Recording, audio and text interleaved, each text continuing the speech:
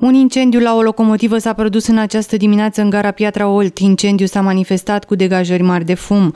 Locomotiva a fost decuplată de vagoane care transportau propilenă și se aflau la aproximativ 200 de metri de locomotivă. În total, 14 vagoane cu propilenă au fost decuplate de locomotivă. La locul evenimentului s-au deplasat echipaje din uh, cadrul detașamentului Slatina, cu două autospeciale de stingere și un echipaj smurd.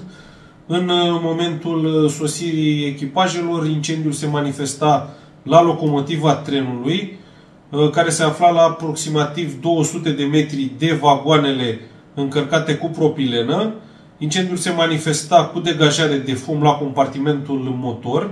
Acesta a fost lichidat în limitele găsite, fiind afectate materiale combustibile de la compartimentul motor al locomotivei diesel, Cauza probabilă a izbucnirii incendiului a fost un scurt circuit electric.